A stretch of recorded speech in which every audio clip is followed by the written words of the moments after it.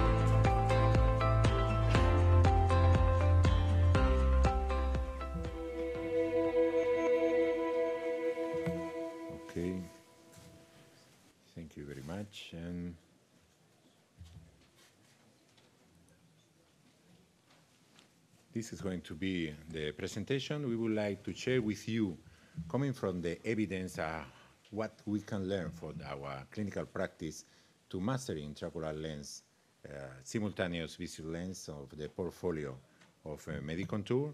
Uh, first of all, I would like to, to do the first presentation. If you can share with me the first presentation, please. Thank you very much we are going to talk with you about uh, liberty in depth, the last five years of evidence uh, to achieve excellent in clinical outcomes. So this is our declaration of interest. As uh, more of you know, we are consultant of Medicontur. I think it's important for you to know. It could have some uh, relationship in the presentation. So we began to implant uh, Liberty Lens in 2016, and the next year we have the first uh, publication, the first paper published in the European Journal of Ophthalmology by the group of Javier Garcia Bella. This is, was the first report published in the literature, and you can see more or less the outcomes, the efficacy of the, this trifocal lens. It's very interesting to see in the distant corrected visual acuity that uh, this lens could have, because uh, avoid the noise of the uh, refraction. And as you see in monocular situation, you are going to see in distance zero logmar. Of course, you know that it's 2020. The intermediate 0.28 and the near 0.13. One year after, we published our first uh, paper based on this uh, trifocal lens, based on the Liberty. Um, we can validate these first uh, outcomes of this first group, Garcia Bella, and we confirm the efficacy monocular of the distance around zero logmar 2020 in monocular, the intermediate 0.2 and a near of 0.1, so it's an excellent uh, visual acuity. But it's very interesting also that we publish, we report also some interesting biometric data relationship for example, this, uh, this, uh, this lens is going to be localized exactly in the same place that the crystalline lens uh, has. It's a little uh, temporal and inferior. As you can see here, we have this natural uh, uh, movement, this natural little decentration, less than 0.3 millimeter, we are going to improve the intermediate vision. It's very interesting to know that is going to have, after the surgery, the same place that the natural crystalline. In 2018, we could have the optimization of the constants for the Medicontur calculator, and in this year, uh, we used to use the SRKT uh, formula, so we move from 78% of the patient around 0.5 dioptries to 83% that it was in this year, more or less, the percentage of the major part of the worldwide surgeons. In 2019, we present in this paper our formula lens based on the thick lens. As you know, with a thick lens formula, we need to know exactly the profilometry of the intraocular lens is absolutely customized for this lens, for the Liberty. It's customized also for the biometer. In our case was Pentacam, and also the surgery because of the ELP. In this year, in 2019, we published in Journal Refractive Surgery a model of prediction. So it was very interesting to understand the role of the pupil diameter for you to know, based not only in visual in terms of visual acuity, but also in terms of contrast sensitivity and independent of the pupil of the patient. So it's very interesting if you are going to implant this lens, what could be the behavior independent of the pupil of the patient? And the first question would be, is this lens adapted to our patient?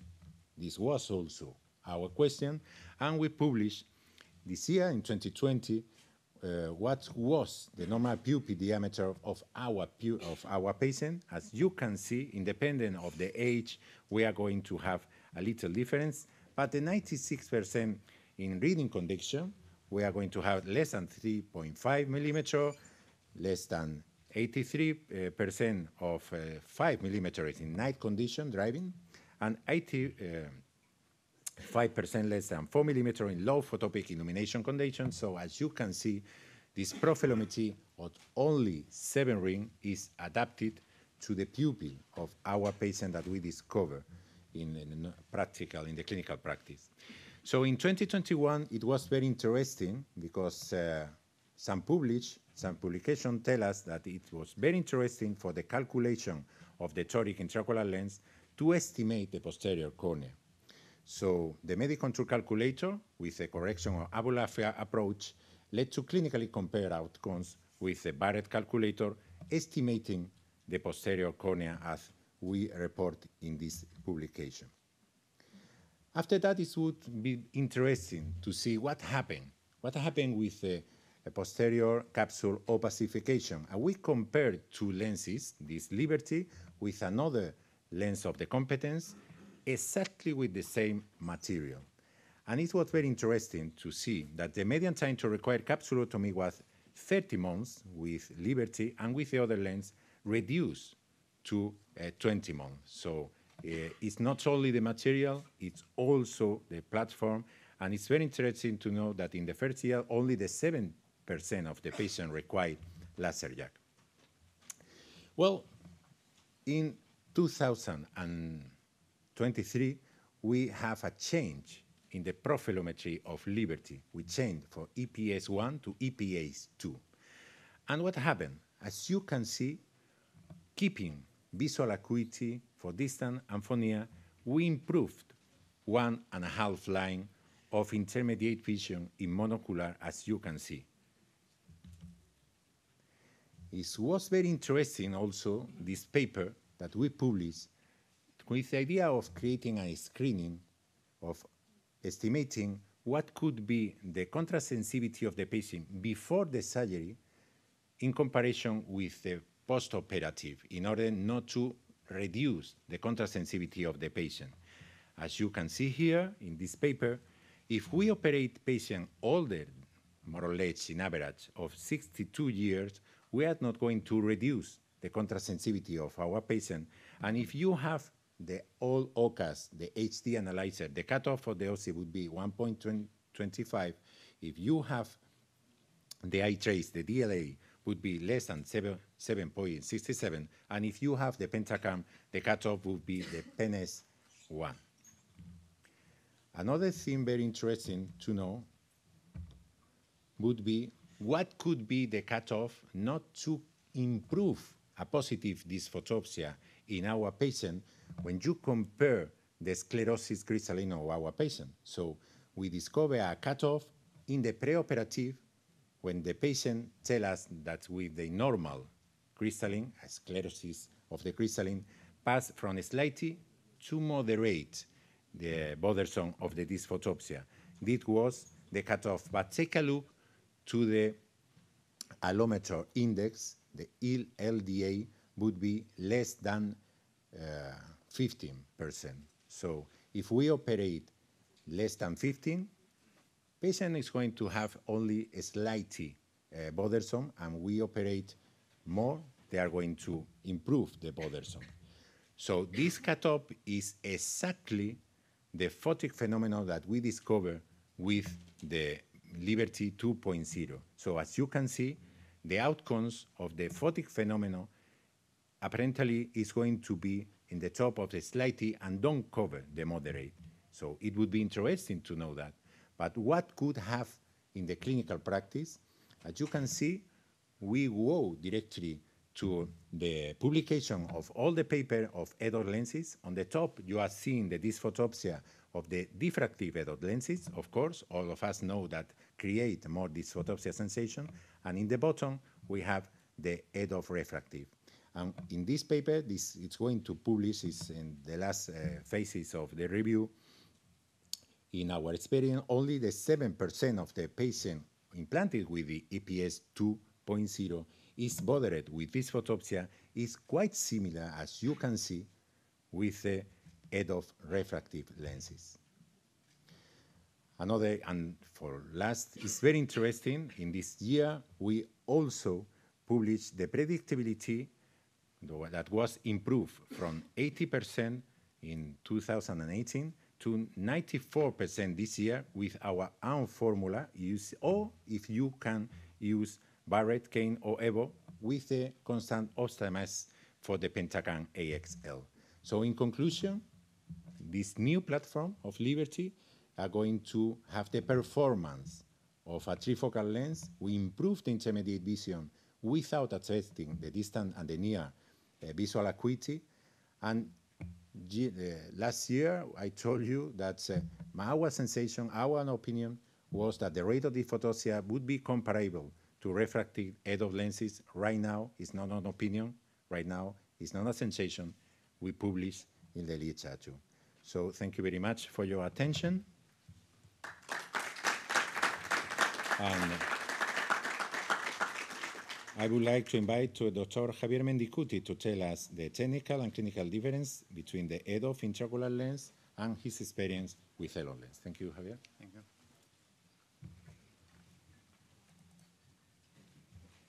Firstly, my thanks to Medicontur and to Dr. Joaquin Fernandez for this invitation.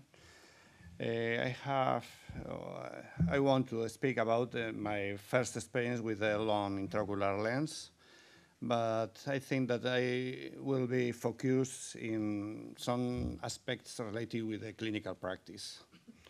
My financial disclosures, and after that, we have many classifications related with the intraocular lenses, but I'm going to the 2019 when a new concept appeared, the concept of monofocals advanced or plus monofocal intraocular lenses, that kind of lenses offer us the possibility to, or they had a focal length, offer us the possibility to have excellent visual quality for distant distances, at least comparable to monofocals, with low incidence of positive dysphotopsias, and they promise lower use of intermediate but not near glasses. In this context, we have many platforms. I have been working in clinical trials and clinical practice with the Tecnis I Eyhance and the Lentis Comfort, but I think that in this range of intraocular lenses, they work in different ways. Uh, some of them working with the, the, the spherical aberration in the center of the lens, uh, other with bifocal segments, so we in, including diffractive rings in some cases. I think that there are many, many kinds of monofocal, advanced monofocals. On the other hand, in the 2015 appeared the concept of EDOF. The EDOF is, uh, at least for me, uh, quite difficult concept to understand. They, this kind of lenses, they have to offer excellent visual qualities for far distances. a wider uh, range of vision. And the third one is for me the more confusing because the 50% of the patient, they have to have more than 0.20 at the distance of uh, 66 centimeters. What happens with the other 50%? No? Relative, I think that the predictability to obtain good intermediate vision is quite low for some of them. In this area, I have been working in clinical trial with the AcuFocus, with the Alcon Vivity, with the LARA, and the Tecnis Symphony. And in the clinical practice, I work with the Vivity, the LARA, and the Tecnis Symphony. I have experience in these platforms. But now, in the last few months, appeared this intra new intraocular lens, included in this area of EDOF intraocular lenses, the ELON, the ELON concept. The ELON is uh, one hydrophobic intraocular lens with a filter for blue light. Uh, it's similar to others, but some small differences. The main, uh, some of them are the optic, with the fenestrated optic that offers the possibility to uh, establish a, a, bigger contact with the capsular bag in order to obtain better stability in the long time. And the main change related with others is the the structure that the, the intraocular lens has just in the middle, two visible circular areas called linking zones. This seems uh, a little bit to the Vivity intraocular lens, but they are optically different. This is a magnification of the structure of the central area. We can see the curvature base, the refractive areas, and the more important things are the linking zones uh, connecting the areas that I have mentioned before. It's the technology that the company has called wavefront linking technology. This technology creates an elongated focus across far and intermediate distances using carefully selected wavefront forming elements. And the main issue is related with the interconnecting areas between the different areas of the intraocular lens. This technology offers some characteristics. From the clinical point of view, uh, the intraocular lens is preloaded. It's very easy to manage it because it's very intuitive. You have one marks uh, for related with the different steps. The first one, you have to introduce the viscoelastic through this hole. The second one, you have to rotate this, this, this area. And once it's rotated, you have to extract the stopper and the intraocular lens is ready for implantation my first impression it was that it was a very, very easy uh, lens to be implanted through 2.2 millimeters of width. And the, the, the, the, behavior of the intraocular lens is very smoothly, smoothly is very easy to uh, implant in the capsular bag, and the structure is a little, a little bit different to the Vivity because the Vivity is quite difficult to observe it in the uh, microscope, and here the area is perfectly identified. It's well centered, and my first opinion with my first implantation uh, was excellent related with that. The company uh, is working in different clinical trials, some of them related with this intraocular lens. There are the results that the company offers, excellent visual acuities for far distances, for intermediate and for uh, reading distances also one month and three months later. My experience is more limited. I have implanted five patients bilaterally. I present my results one week after the surgery because I have had no time for more. And it's true that the majority of them, they have excellent visual acuity for far distances. I have included 100% of the patient in plus minus uh, 0.50. Uh, the intermediate vision is good, but probably not so good as the uh, the result that offered the company, but it's true that this one a week later and this and with this kind of platform, the visual acuity improves on time with the follow-up. My binocular data, they were uh, a little bit better than I have been, I, I have demonstrated before. This is the, the focus curve that offers the company, but the, the focus curve developed with few patients. But if we compare this platform, this the focus curve is similar to the focus curve that offer Vivity uh, in different publications. But we are we searching for some comment related with that. We have full range of focus intraocular lenses that offer the possibility to uh, live free of reading and distance glasses. But what happens with that kind of lenses? The positive dysphotopsia is, uh, is the main difficult for, for them.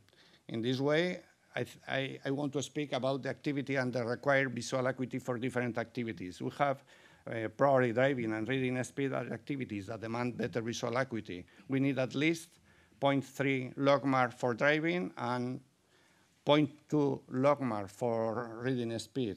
For reading with 0.4 could be enough, but if we would uh, uh, want visual acuity for reading speed, it's 0.2. And we are searching also this kind of binocular defocus curves, platforms with high tolerance to residual refractive errors in this area, close to zero, and an excellent depth of focus. It's, it's quite difficult to obtain that with intraocular lenses. But the real world, in the real world, we have that the cataract is and the number of patients with cataract is growing. It's a very big market for the next uh, years. We, the forecast related to cataract surgery in 20 in 30 years, we will be uh, performing more than 50 millions of cataract procedures.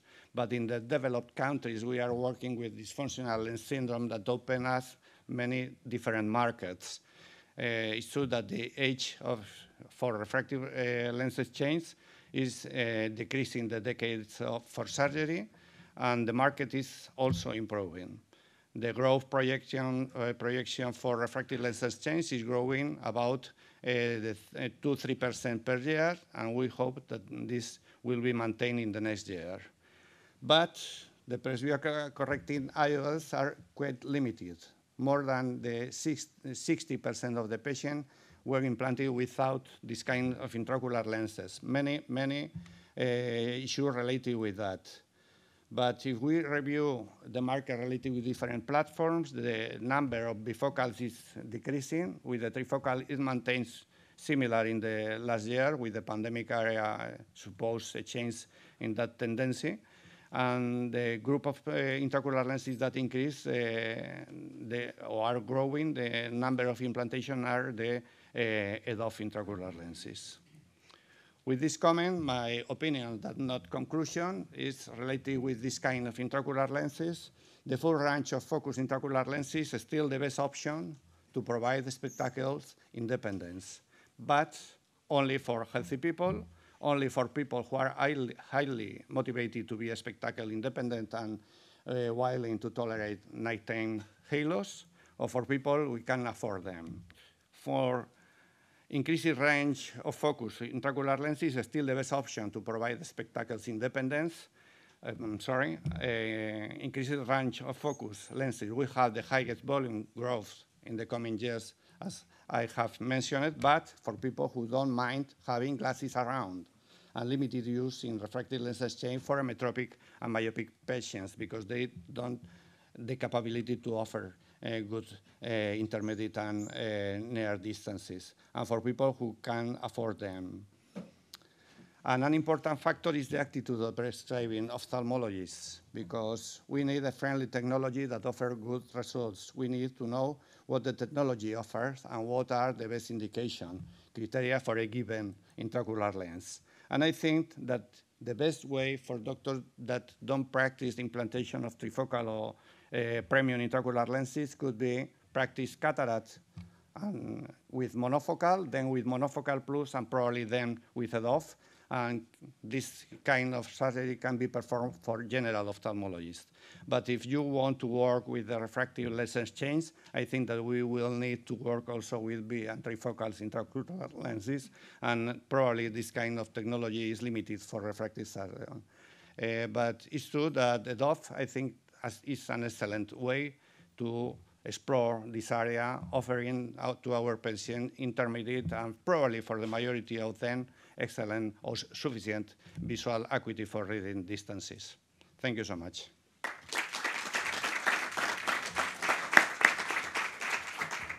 Thank you very much, Javier. Um, uh, now, Dr. Ramon Ruiz Mesa is going to tell us his experience with uh, Liberty Toric and the Elon lens and what could he do, he does uh, trifocality of EDOF lenses. Hi, good afternoon to everybody. First of all, thanks, uh, Joaquin, for your kind invitation, and of course, to all the Medicontur team. The title of my, of my speech will be, what would you do, trifocal or EDOF lens, choosing a right lens for your patient. We have that before it's mandatory for every surgeon of, of anterior segment to control and master the process of the cataract surgery, to know and adapt to the needs and hobbies of the patient, to know and choose the best option for the patient, and to present real expectation to our patient.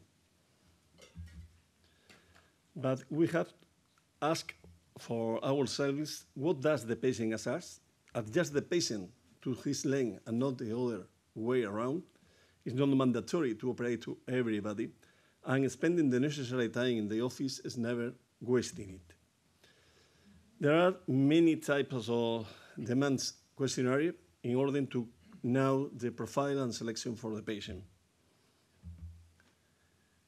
Regarding about the profile and selection, we have to be sure if the patient is motivated, distinguish between hobbies and profession. Of course, count on the age and physio physiological profile, not conclude until ending the preoperative examination. It's a very, I think that's a very good advice. The first priority is to avoid the preoperative complication. Not select the uh, not suitable patient for a multifocal lens or an EDOF lens. For this, we need a complete examination, assessment of the tear, quality and quantify, dynamic photopic and mesopic pupillometry, premium biometry and advanced formula, premium corneal tomography, anterior and posterior surface, and of course, aberrometry, high order aberration, and uh, to alpha and kappa angles. Now we have different uh, groups in order to restore the accommodation. The most popular, as you know, there are multifocal, like EDOF lens, and the plasma monofocal, and sometimes in some cases, monovision procedure. This is nowadays the distribution of lenses. Uh, we are talking about the monofocal and multifocal lenses in the main market in Europe. And you have to, to select the lens. Nowadays we have many, many type of lenses, many type of, of group of lenses where we have to gap every, every patient with his model. Uh, talking about the Liberty lens, Liberty trifocal lens, Liberty lenses provide good visual acuity in distant, intermediate, and near vision, offer optical vision range between 0 and minus 3 diopter, similar contrast sensitivity in photopic and mesopic vision, very good feature, excellent rotational centering stability, and this lens provides satisfactory results at all distances compared to the other premium lenses. Suitable patient for this type of lens. Patient doesn't wish to wear glasses for any activities. Patient who demand near functional vision, reading books and small print letters. Patient who do not drive normally at night and patients with 100% healthy eyes.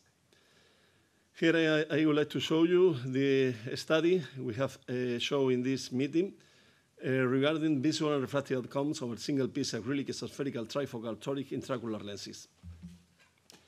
The purpose of this study was to analyze the visual and refractive outcomes obtained in cataract patients implanted with the Liberty toric intraocular lenses. We have studied 30 eyes in 15 uh, patients. There were the result, the mean values obtained for uh, corrected distant visual, the uncorrected visual distant and intermediate. No intra and postoperative complications were found. On the right, you can see the defocus curve of these lenses. The mean spherical uh, equivalent was 0.05. 33% and 93% of eye were plus minus 0.5 and 1 diopter this result is very important to, to analyze this graphic, uh, comparing the preoperative corneal astigmatism with the postoperative refractive astigmatism obtained. You know the centroid in the center, we reduce the, the result of the astigmatism in very, very low values. To conclude, to the present analysis that is small post-implantation of the Liberty toric intraocular lens show that this lens offers excellent visual and refractive outcomes at different distances without intra and postoperative adverse events. Another lens that uh, of my colleague, Dr. Mendicute, has uh, talked before, ELON lens. ELON lens, we have to, to underline, is not yet another EDOF lens. It's it offered as a completely new uh, development. It's a non-refractive lens, like mini well, ready and not is a diffractive like uh, AT Lara and Symphony lenses, both technology, whether refractive and diffractive design, can with an inherent increase in photic phenomena. The suitable patient for this type of lens, the EDOF ELON lens, this lens is most tolerant for patients with high, high order aberration values, patients who demand near functional vision. Given that it's a lens with a very low halos ratio, they are suitable for patients requiring very good night vision. The low range of halos make them ideal lenses for patients with well-controlled glaucoma or retina diseases. The only weak point, of course, is the vision for close distances. For this reason, they are recommended for those who demand very good vision for these distances. The contrast sensitivity is similar to monofocal lenses and much better to diffractive and trifocal lenses.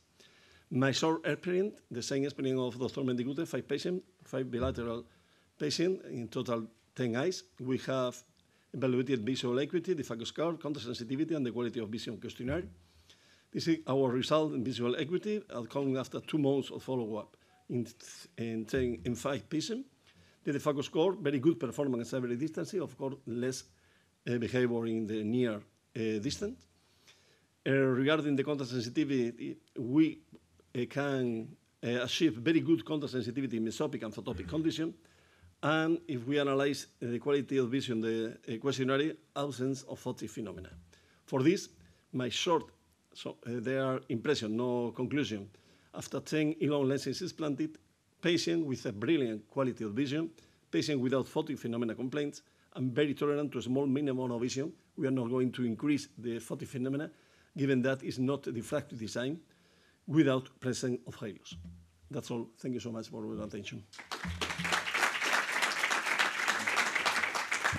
Thank you very much, Ramon. And now, Professor Sathish Srinivasan is going to tell us about the 1stQ add-on intraocular lens, what could be the science, the indication, and also the technique of implantation. Great. Thank you, Kim. Good afternoon, everybody. We're going to slightly change gears, and I'm going to talk about a different technology, which is called the add-on lenses.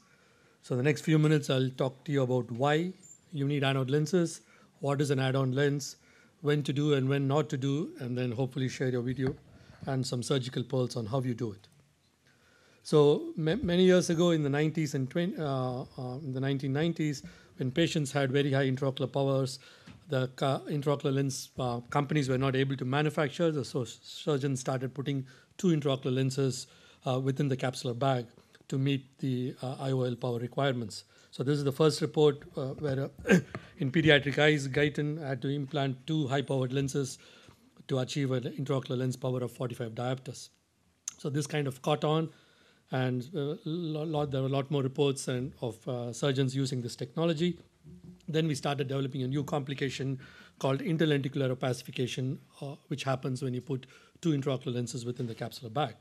And you can understand from this uh, illustration, you can see if you put two lenses in the bag, normally the lens epithelial cells which will go around to the posterior capsule to develop posterior capsular opacification couldn't do that because there is no space. So these lens epithelial cells start going between these two intraocular lenses and to start uh, producing what a new complication, complication called interlenticular opacification, where it starts affecting the optical quality. So these are pictures courtesy of Liliana Werner from Salt Lake City in Utah, where there are two uh, PCIOLs, three-piece lenses which have been explanted, and you can see this lens epithelial cells which have gone into the interface and produce a lot of opacification on the optical surface.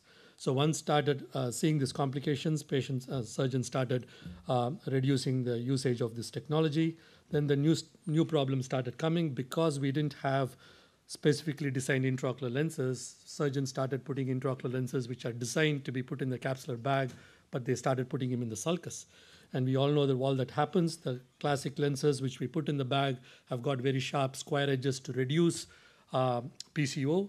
But if you put these sharp uh, square edged lenses in the, in the sulcus, they start rubbing against the posterior iris pigment epithelium. Then you start iris pigment deposits not only on the um, intraocular lens surface, you also started developing secondary um, pigment dispersion glaucoma uh, and iris transillumination defects.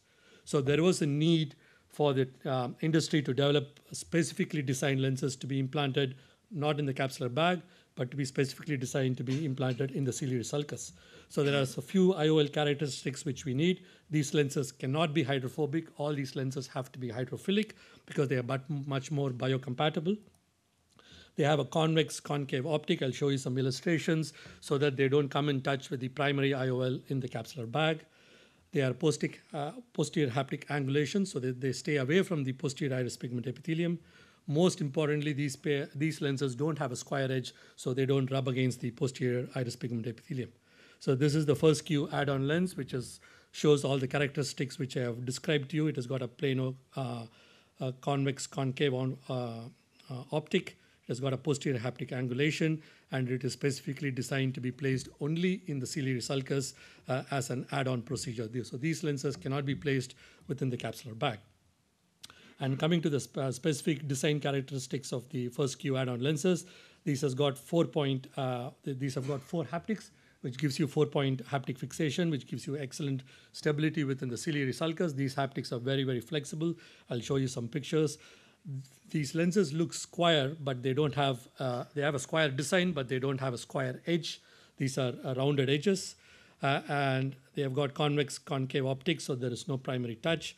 And most importantly, these can be uh, injected like a primary IOL with a clear corneal 2.2 millimeter self-sealing incision. The other beauty of this technology is this is reversible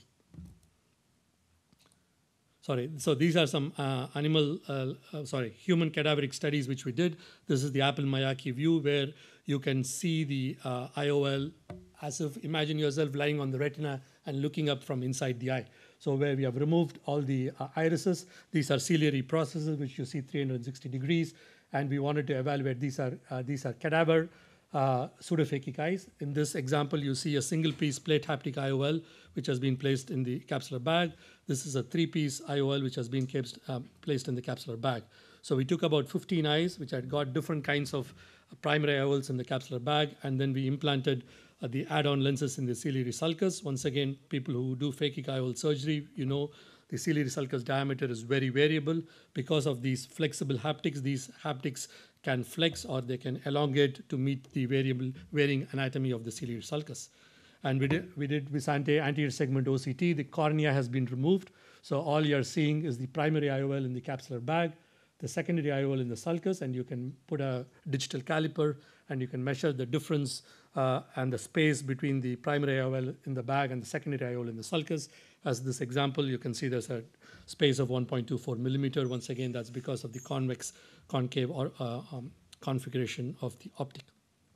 So we published this uh, about five years ago. So where do you want to use these lenses? One, this this got uh, this lens comes in different flavors. It has got a spherical correction. You could have a monofocal toric correction. Then you could have a trifocal uh, uh, optic on this, like the Liberty, and there's a trifocal toric. So if somebody had uh, previous monofocal IOL correction with the standard monofocal IOL, and if they're interested in having a presbyopia correction, then you can put this uh, toric you can put this trifocal add-on as a presbyopia correcting add-on solution. If the patients have coexisting astigmatism, then you could correct simultaneously with the trifocal toric.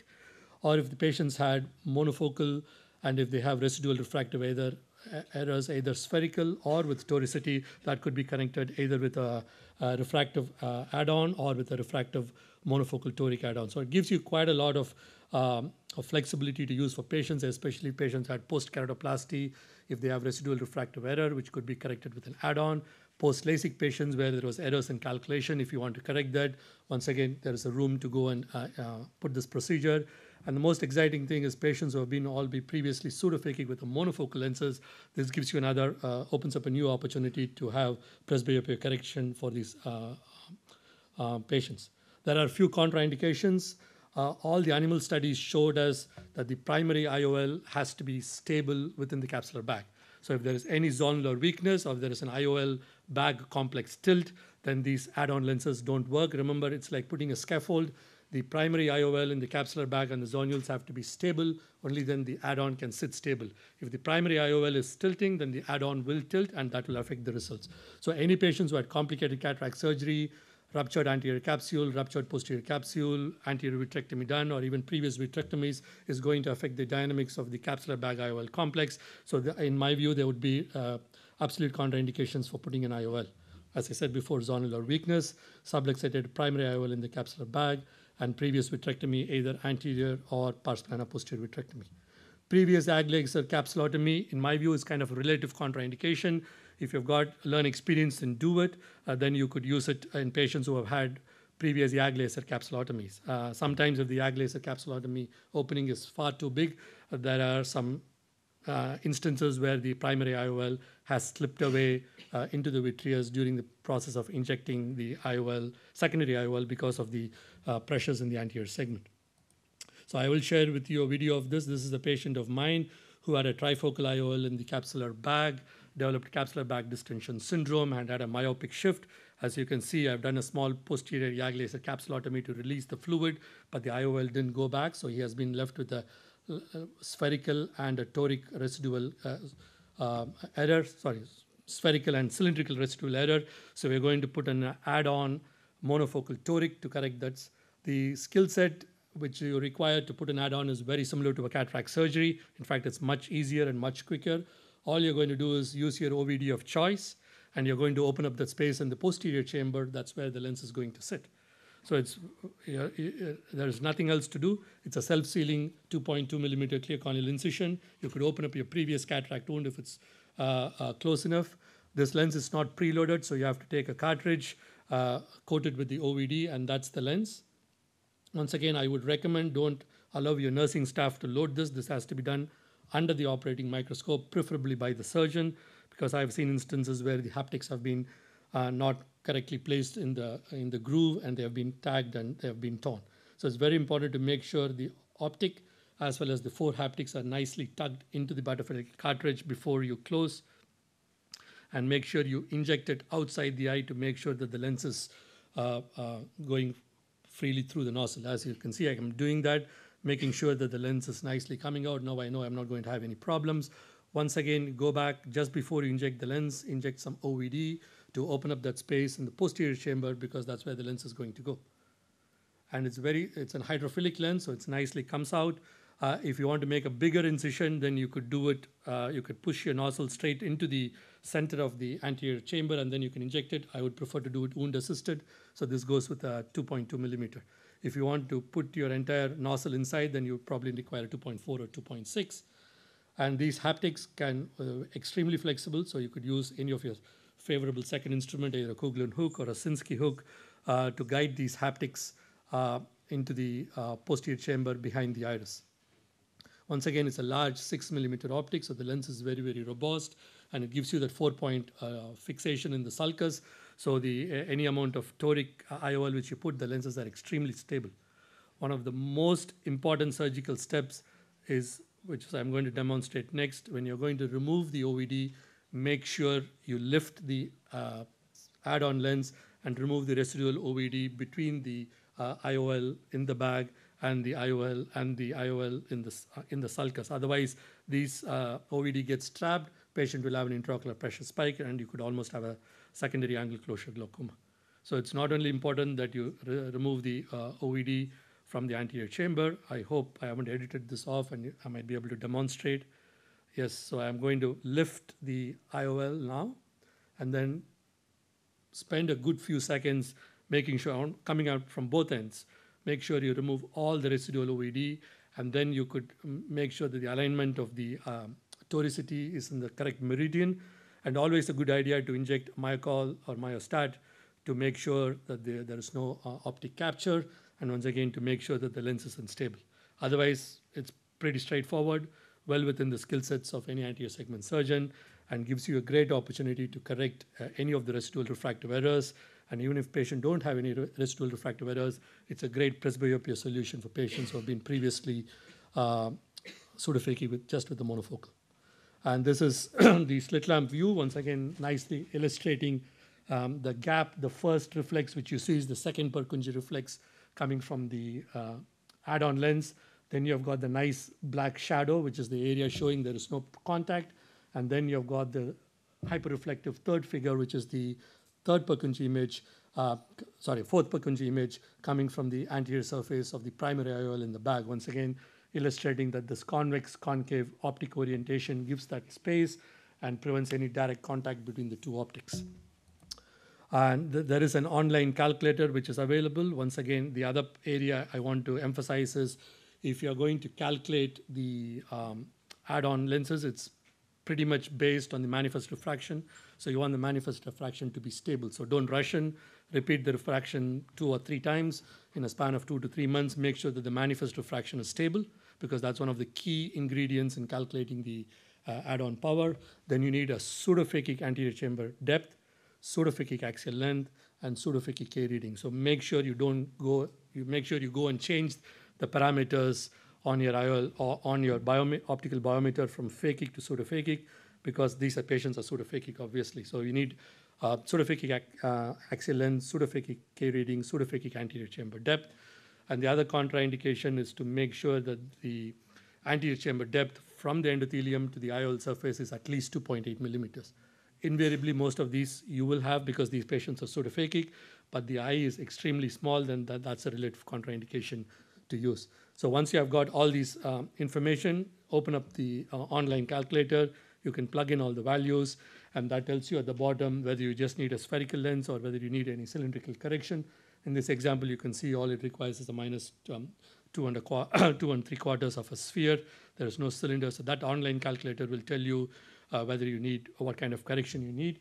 It also tells you if you can you can put in your incision size, you can put in your incision meridian, and that calculates uh, uh, gives you. And if you have data on your surgically induced astigmatism, that could be factored in in, in uh, all the surgical planning. So all this is pretty much very similar to how you would calculate a primary uh, toric IOL. I think that's my last slide. Uh, thank you for your attention. If there are any questions, I'm happy to take. Thank you.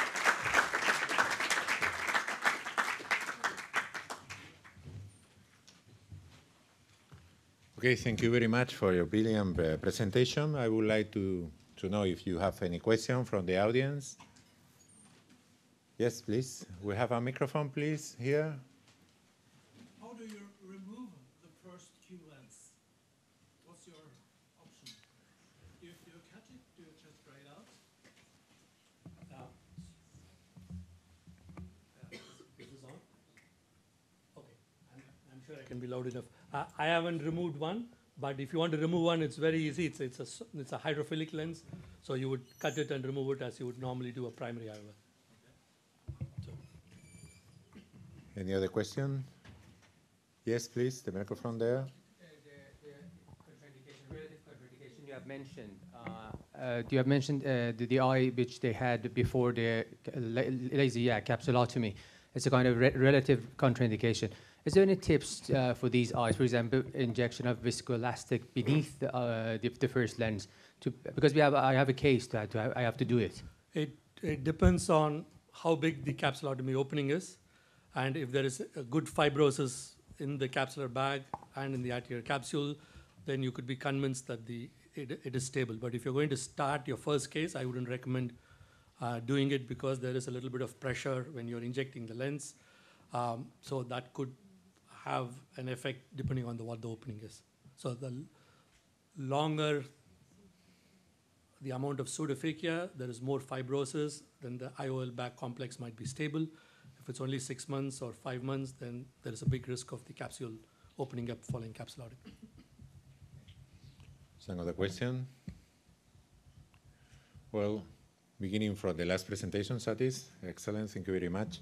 And we're implanting multifocality in our patient, probably in the early 60 years old, and probably they are going to have a long term with these lenses.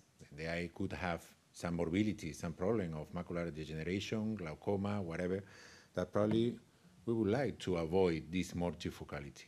So do you think we have right now the possibility of think about reversibility of the multifocality in general patient or not, and what type of patient, if for all the people or for very early stage of some disease, So what is your think about that? The, that's always a gamble when we do um, presbyopia correcting solutions. We can't predict what other comorbidity conditions patients would develop.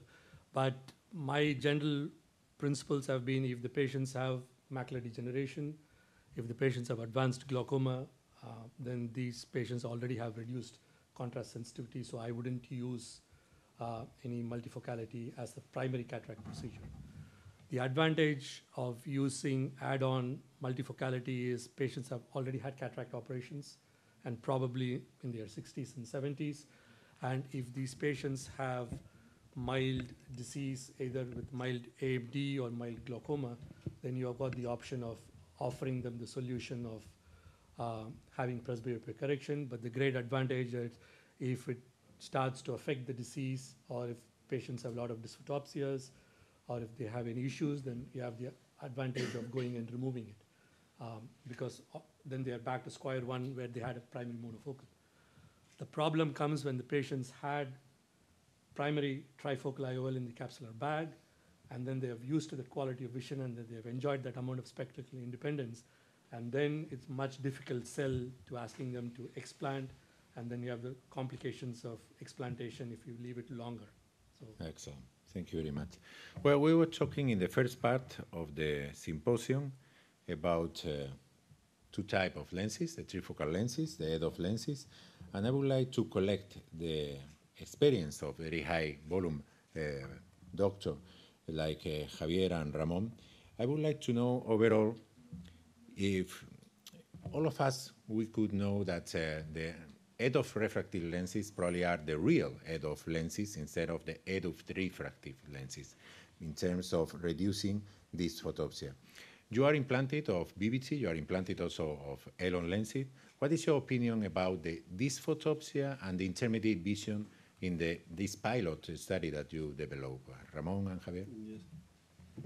I think that I have uh, said before, uh, in this case, with the optical design of this lens in long lens, uh, the same with uh, Vivity lens, we can play with a micro monovision in order to improve the near vision without decrease the quality of the distant vision.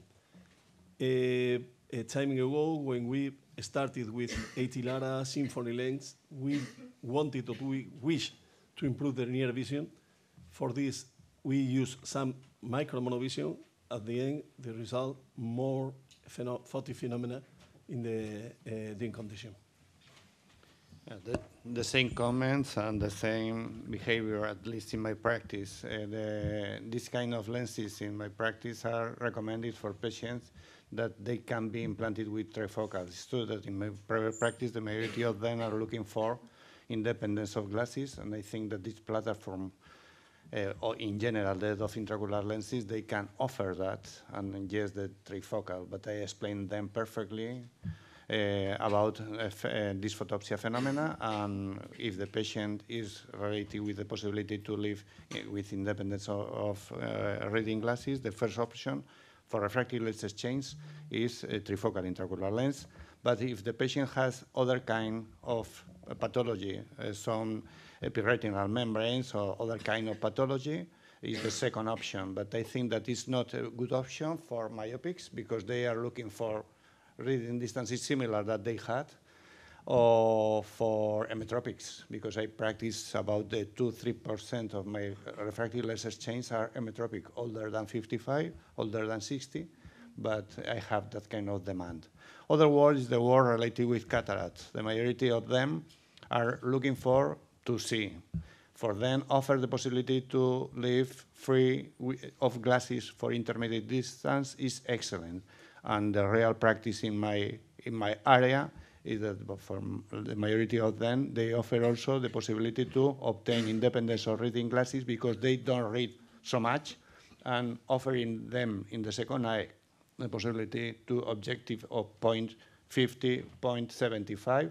The tolerance with this kind of lenses is better than with the trifocals. It's possible to do that, minimum vision, and could be excellent, and you obtain a very huge group of patients free of glasses. Okay.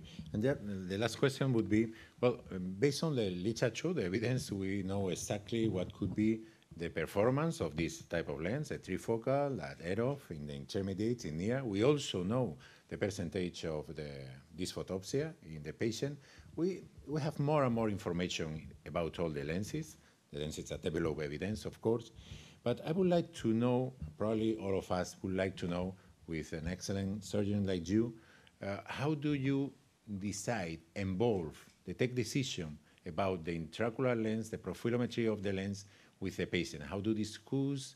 Uh, how do you involve on in this uh, decision in some way? What is your uh, particular tricks for that, or how to manage? What is uh, your art in this situation in order to adapt the expectation in the preoperative to the results that you know you are going to achieve with each lens? The main issue related with that is that uh, when the patient is thinking about the, to be implanted with a trifocal intraocular lens, dysphotopsia is the main message that they transmit them. And also I explain or I ask him or them about if they are dri- professional drivers or if they have some some profession and if they use computer and that kind of things and Eh, I explained perfectly with images eh, the phenomenon, the dysphotopsia phenomena, especially the positive phenomena, because eh, and they are the more important related with that. And in my own practice, only one per 500 patients exchanged intraocular lenses related with dysphotopsia, positive dysphotopsia, no more. Another other commentary? Okay. Well, we have finished the time of the symposium. Thank you very much for your attendance, and I expect you to have here the next year. Thank you very much.